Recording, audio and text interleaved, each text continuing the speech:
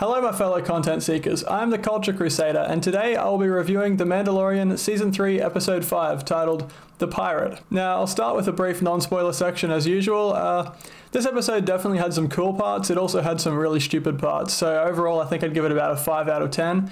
Um, at least it drove the plot forward somewhat, and it had some pretty cool action scenes. Um, it kind of felt more low budget compared to other episodes, I feel. Um, due to just the number of extras in scenes and some of the set pieces and things just didn't feel that uh, that professional.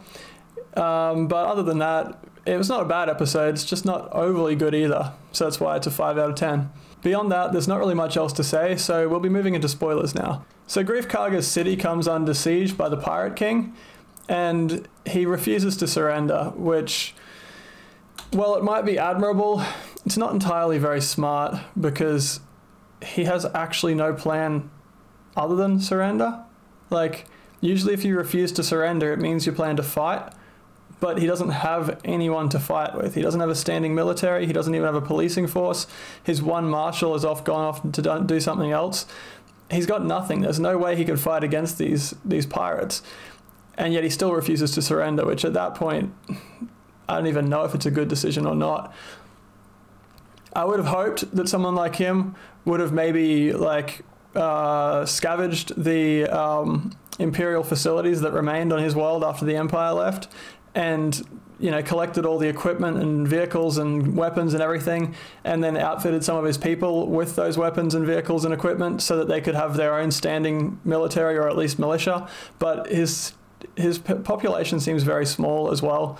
So I don't know. Maybe he just really doesn't even have the numbers to do that either way, um, I don't really think he's done a very good job. He's completely unprepared for something like this, and he just completely relies on the goodwill of the New Republic, despite not even being a part of the Republic, which just seems like a recipe for disaster, and obviously it is because this happens. So the pirate starts opening fire on the civilians, and honestly, the pirate ship guns are pretty pathetically weak. Like, they just smash a couple of buildings and kill like maybe five people. That's about it. It's not really what you'd expect from like the full firepower of a pretty large ship up directly above the city. Um, it almost looks no stronger than like an ATST or something like that, which is just a bit strange. All right, so something that's almost entirely inconsequential, but I thought I'd mention anyway, is Greef Karga mentions something to do with the Spinward Patrol, which doesn't really make sense because Spinward is a circular direction.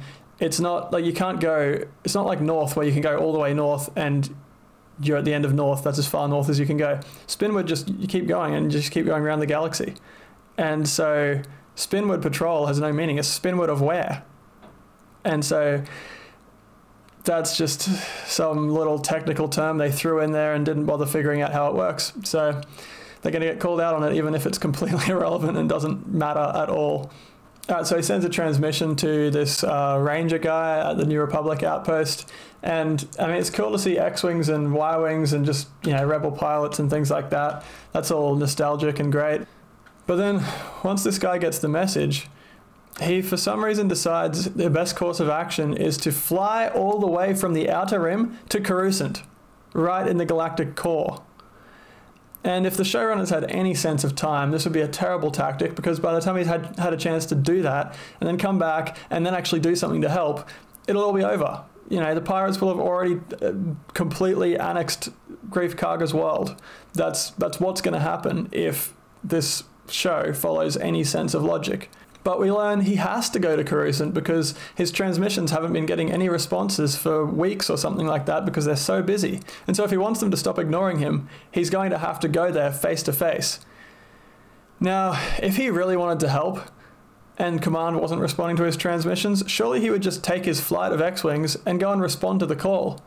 like, there's no point in even having a remote outpost and patrol if they don't have the authority to actually respond to contact and do their job in keeping the peace they shouldn't need to call Coruscant every time something comes up that needs their attention. That's not like there's got to be someone at this outpost who has a high enough level of authority to authorize things like this. This whole part about having to go all the way to, to Coruscant and back is just put in there because whoever wrote this show doesn't understand how militaries work.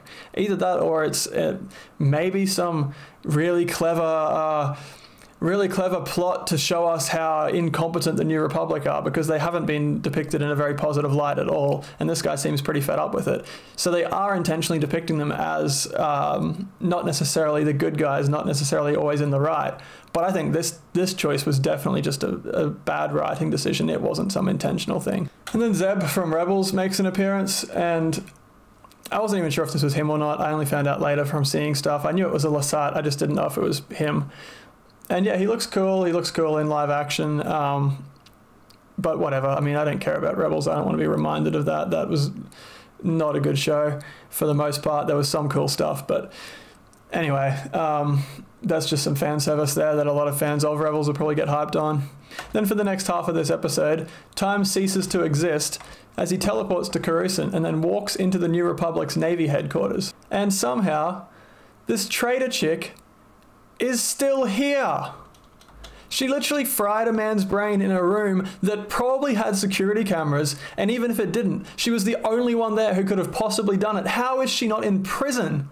She's so obviously still an Imperial. It's just insane that these incompetent idiots don't see it, and they keep letting her in on their tactical meetings and discussions.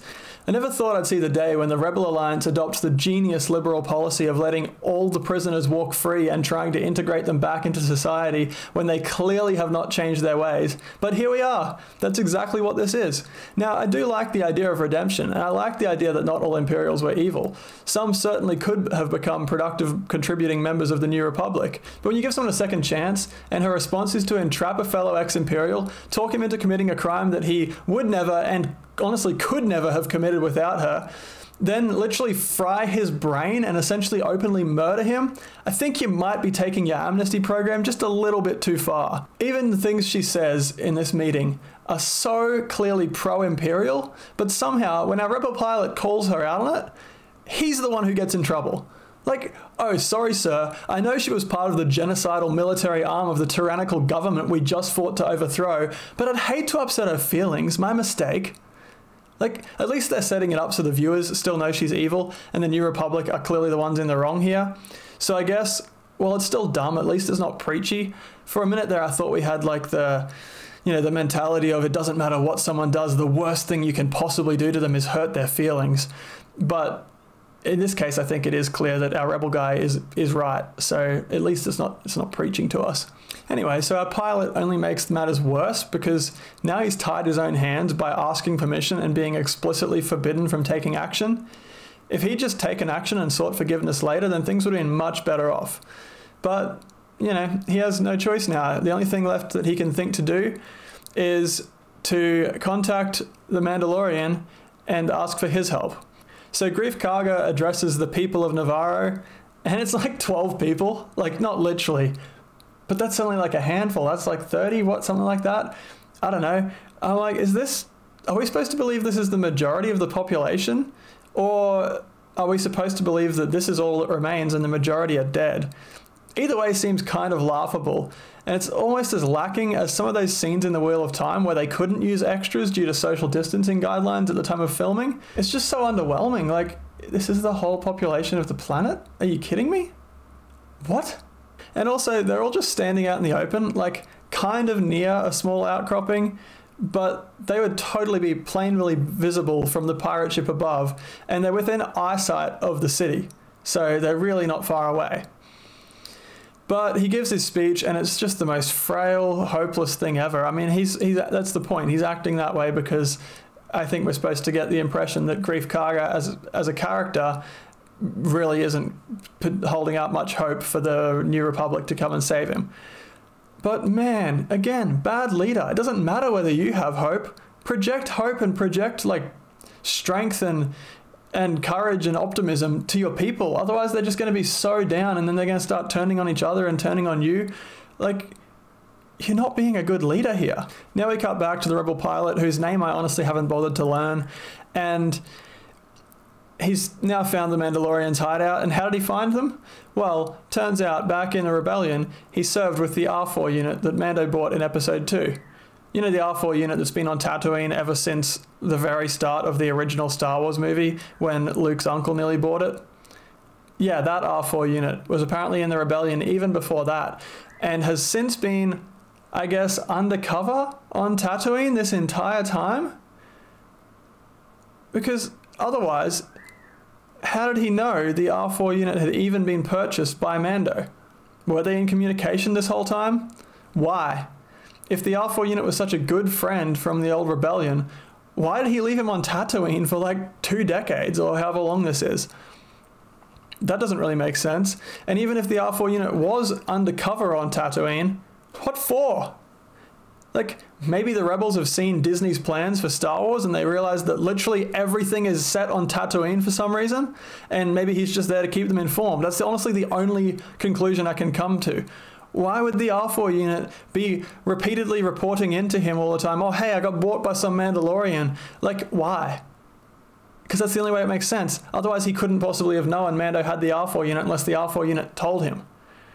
Anyway, also, why would the, neither the Jawas nor that stupid mechanic lady nor Mando wipe the droid's memory at any point? Like, surely when, you know, if I buy an iPhone off someone, I don't want the bloody iPhone to have all their data on it. I just want it re- factory reset, obviously. Same goes for any electric device, a computer, whatever. I don't want to buy it with all your like all your documents on it. It's the same with a droid. You don't you're not buying it for all the memory bank it has in the past, except in some very specific circumstances, why would none of them have wiped it? This is the exact reason why you would wipe it, is so that it can't betray you to its former masters. Anyway, so he flies in, and for some reason, the Mandos don't shoot him down the moment he arrives, but at least this time they do have someone on guard duty. So maybe they've learned from the Raptor attack, I guess, although why they didn't learn after the first Raptor attack, I have no idea because it's implied that that happened over and over and over, and they just never bothered to put someone on guard duty to shoot it down the next time it comes. But at least they're a bit more competent now, I suppose. He tells them that Greef Karga is under attack, and he tells them that R4 is a traitorous spy, and they do nothing. It seems like they just keep the droid with them for some reason, which is going against everything they stand for. What, they got to relocate their whole covert, but they're going to take the droid with them. The droid that's already a spy and has already given up their, their location once. I would have said, take the damn droid with you. If it's a bloody rebellion spy, then keep it with you. I don't want it. Like, obviously, shut it down. We just chuck it in the ocean, feed it to a turtle croc. I don't know. Why would you keep it? But no, it seems like they do. Mando gives a speech to try to convince them to fight for Greef Karga, and just like Greef Karga's speech, it's the most frail, weak, pathetic thing I've ever heard, second only to Obi Wan's speech in his abomination of a show. You know that everyone, everyone, the Empire will be here soon. We cannot fight them. That speech, you know, the one that was just the most abysmal thing ever. This is on a par with it, honestly. It's a little bit above. Thankfully, Paz gets up to speak. And Paz is kind of one of those funny characters where, like, at any moment he could go either way. Like, you know, sometimes he's so, so hard against Mando, and other times he actually supports him and agrees with him and helps him. And I actually like that. I mean, some might try to argue it's inconsistency of character, but I don't really think it is. I think it's it's less realistic when you write a character who is always against what the main character's doing or always on their side. Like this is this is more realistic, so I like it. And this is the one speech that isn't weak and pathetic. I actually quite like it. He gets up, starts to speak. Um, you know, he starts out kind of talking about the things that have happened to them and and all the stuff that the Mandalorians have been through for the, the latest, you know, few years, few decades, whatever. And basically, he demonstrates that he's the only one of them who actually possesses a spine in this speech. It's honestly, it's a shame he didn't have that spine back when the raptor took his son and he was immediately ready to just give up. But he does now, and this is where it sort of starts getting good. Um, he asks why they'd risk their lives for Mando's friends and for an uncertain hope of a better future. He sort of pauses and he comes out with this, like, because we are Mandalorians thing. And he says it much more powerfully than that, but that part made me smile. Because we are Mandalorians, it's like, yes, of course, we're going to go fight for a better future. Obviously, we're Mandalorians, fighting is what we do. It's good. It made me smile. And I wish the whole show depicted them as being as strong and capable as Paz's speech makes them seem. And they say they only have two ships, but that begs the question of how the hell did all these Mandos get there in the first place? It's not like they could catch a taxi to their super secret hideout unless they then killed the pilot afterwards and erased all traces of his ship. So who brought them here and where's that ship now? Anyway, finally, they are getting ready to mobilize and move out and go and help Greef Karga. Now, it's worth bringing up how the timeline works here because, oh, it's bad. It's really, really bad. Right, okay, get this. The Rebel pilot, from his side of things, he has to get the message, prep his ship, fly from the Outer Rim all the way into Coruscant, make it through Coruscant's never ending sky traffic, land, travel to the headquarters, talk to his commanding officer, travel back to his ship, prep it again, make it back through traffic and out of the atmosphere, contact R4, find Mando's location, fly there, land, talk to the Mandalorians, then leave. Then the Mandos have to have their meeting, give their speeches, decide to help, prep for combat, make a plan, fly to Nevarro, and then make their assault. Meanwhile, what's happening on Nevarro? Pirates have opened fire on the city.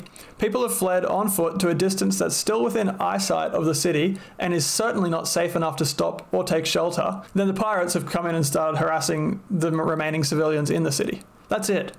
That's like half an hour of time on Nevarro versus hours and hours, if not days, of time for the Rebel pilot. It's like just because the camera stops rolling in between important scenes does not mean that time stops passing. Now, obviously, I was exaggerating a little bit, maybe. Perhaps the droid preps his ship for him in advance, and maybe he can bypass traffic and land right at the military HQ. It's still going to take far too long. As usual, the writers just have no concept of time in any of these shows. It's unbelievable. Now, again, the pirates are just behaving like little schoolyard bullies, just, you know, treating all the civilians terribly, which you'd expect from pirates, but.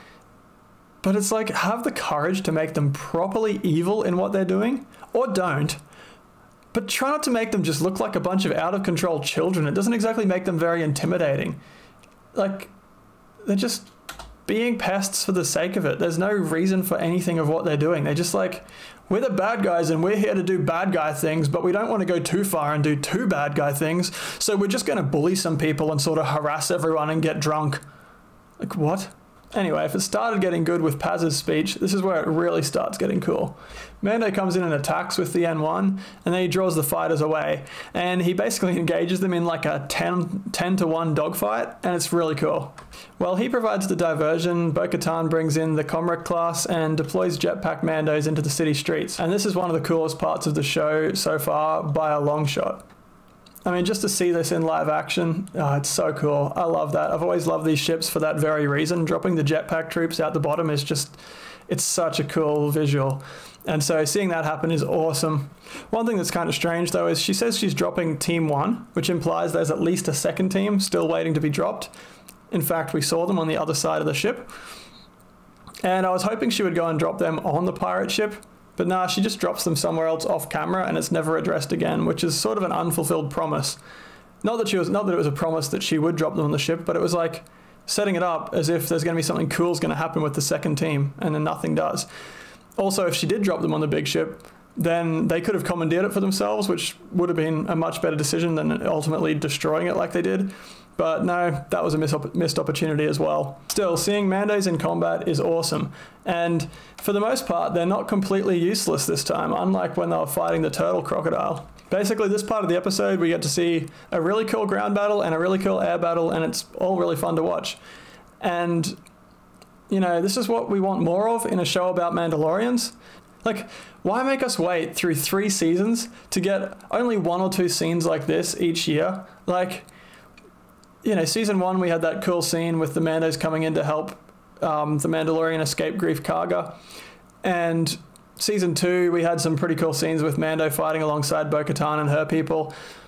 And then now we got this. But, like, why make us sit through so many side quests and irrelevant plot points and just boring, slow nonsense? This is what we want. A show about Mandalorians. We want to see Mandalorians doing awesome stuff. And so finally we're getting it, and we should have gotten it right from the start, but here we are, and it's awesome, and I can't complain right now because it is really, really fun to watch. Yeah, look at that. There, Mando's still got the R4 unit, so he just was like, You're a traitor? Uh, all good, man. Just come with me anyway. I mean, Why not at this point? I, I don't understand. But the N1 Starfighter is really cool. It's, it's really cool to just see how fast and agile it is compared to the other fighters. And I mean, he just cuts them cuts them to pieces so fast. It's it's really cool. And then while they're, while they're distracted, Bo-Katan makes an attack run on the main ship. So the captain recalls his fighters, the last couple of them, who are chasing the Mando through a canyon. And they just pull off and go back to the ship. And it's like they just completely forget that Mando exists and so I'm watching here and I'm thinking, like, no, just because you stop trying to shoot him doesn't mean he stopped being a threat. What the heck are you doing? And sure enough, he punishes them for their mistake, which is good. I'm glad he did. But, like, how could they not see it coming? They act surprised, like, oh, Mando's still here? Obviously, Mando is still here. You didn't kill him. What were you thinking? Meanwhile, on the ground, the Mandos get surrounded and pinned down, and it seems as if they forget that they have jetpacks and also armor, but maybe there are valid reasons for it, so I'll let it slide. And then Paz comes in like a boss and saves the day. But the fight isn't over yet because the pirates set up this big cannon, probably an E-web or something similar, and it's actually big enough to do some damage to the Mandalorians, and they sort of have to scatter and they get pinned down again. And for some reason, none of the Mandalorians remember do they have rockets? In fact, all they seem to use throughout this entire battle is blasters and grapples. But luckily for them, the armorer appears out of nowhere and uses her forge tools to take out all the pirates in that tower and neutralize the E-web. And I say appears out of nowhere because she doesn't have a jetpack and neither ship has landed anywhere to drop her off. So I honestly don't know how she got here, but she's here, and you know her fight with the forge tools and that it's cool enough. For some reason, she doesn't bother to take the gun and you know shoot the other pirates in the courtyard, but I guess she doesn't really need to because finally the Mandalorians remember they have wrist rockets, and then they quickly drive out all the rest of the pirates and basically pursue them out of the city. And once they get to the outskirts, they are met by Greef Karga and all his civilians on the edge of town proving that they too were only about a few minutes' run from town, which further reinforces my point about the total inconsistency in the timeline of this episode. Still, the action and visuals of this whole fight scene were cool enough that I definitely still enjoyed it. Look at this absolute legend. We don't even get to see how he gets up there, I don't think. He's just up there and just like it's just one random scene, some random Mandalorian just being an absolute boss. Pretty cool. Now, the pirate captain realizes that he is losing and he decides to strafe the civilians as a last desperate act of vindictiveness.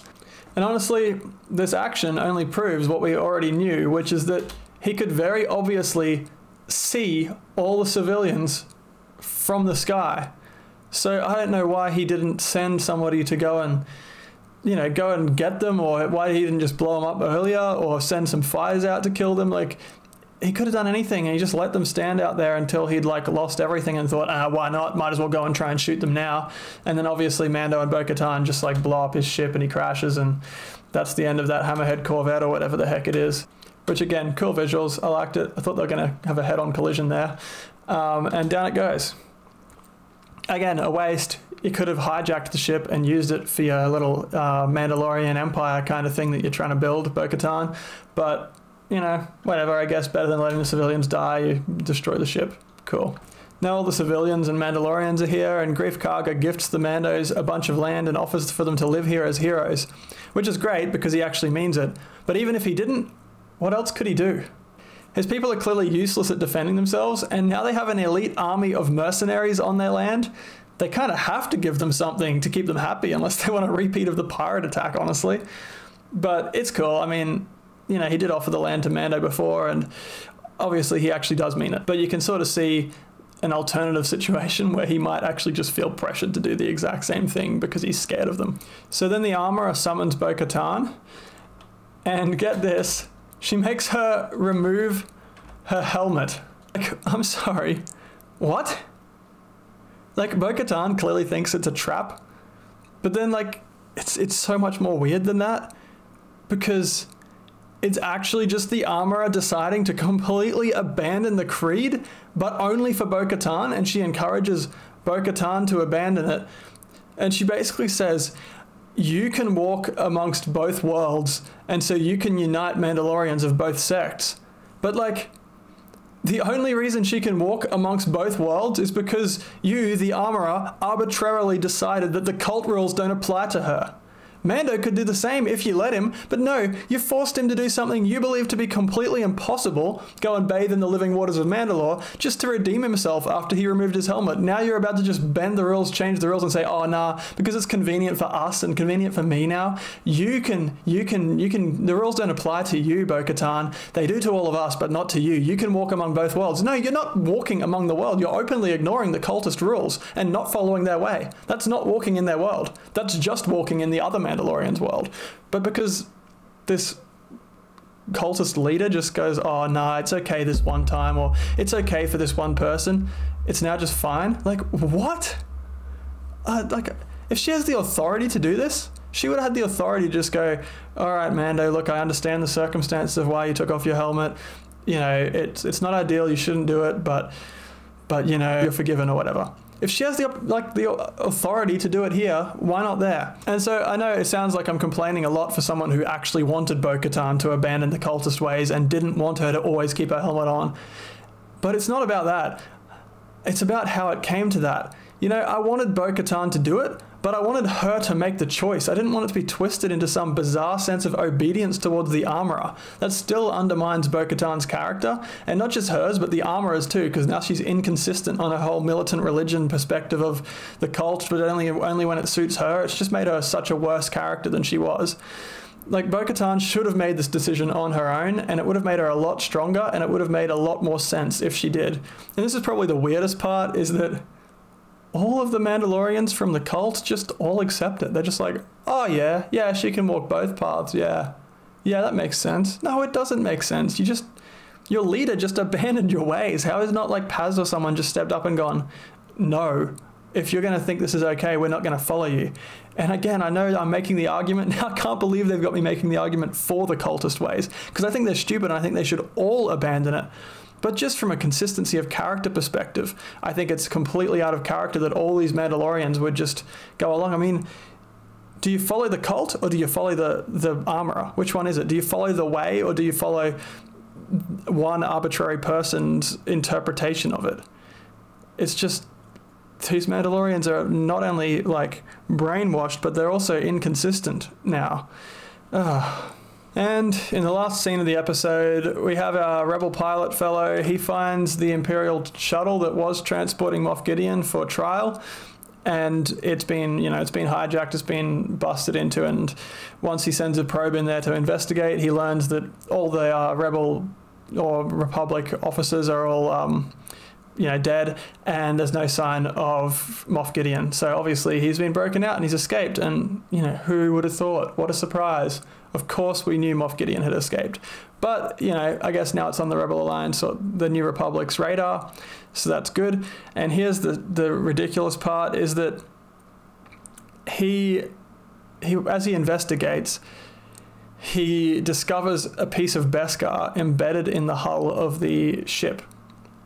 And from that, he draws the idiotic conclusion that Mandalorians did this, instead of the obvious conclusion that whoever did this is trying to frame the Mandos and set them up against the New Republic. I mean, I guess it is possible that there's another sect of Mandos out there who did break Moff Gideon out, but it just seems so much less likely. The most obvious solution, the most obvious uh, reason is you know, someone setting you up. I mean, how would a fragment of Beskar even get embedded in the hull of the ship? I mean, what weapon do you have that can like shatter Beskar with that velocity that it would embed in the hull of the? That's like how like what what do you even have that can break Beskar and leave a fragment? Who could have done that? The, the New Republic officers or whatever they were, like soldiers, certainly couldn't have had a weapon powerful enough to do that on board their ship. So even that, I mean, it's one of those things where the writers are most likely going to have us like have our have the characters all go, oh, it must be Mandalorians, and just not think it through. But if you thought it through for two seconds, you'd be like, that was clearly planted, obviously. Um, so we'll see how that goes in next episode. All in all, this episode was like the last one in that it was really fun. There's a lot of like cool action and some cool visuals, but it was mixed in with a lot of thoughtless plot planning and just below average writing. Yet at least it drove the plot forward again, even if it was only really Bo Katan's plot And that's something that I sort of just thought is that Mando's looking closer and closer to like he's going to get the Boba Fett treatment where he becomes a side character in his own show. Like he's still around in this one, he's still doing things, but he's really taking a backseat compared to Bo Katan. And that's not a complaint necessarily, it's just an observation. I actually probably like Bo Katan better. I think she's a more interesting character. She's a cooler character. She's been depicted as being much stronger, so which just makes her already much more likable to, to watch her do thing do things because she's competent. Um, and so I'm keen to see where this goes. But for people who are actually fans of the Mandalorian himself, this might be a very disappointing season. Only time will tell, I suppose. So those are my thoughts on this episode. Let me know your thoughts in the comments below. Like the video if you want to, subscribe at your own risk, and until next time, keep your pen on the paper and your sword in the scabbard.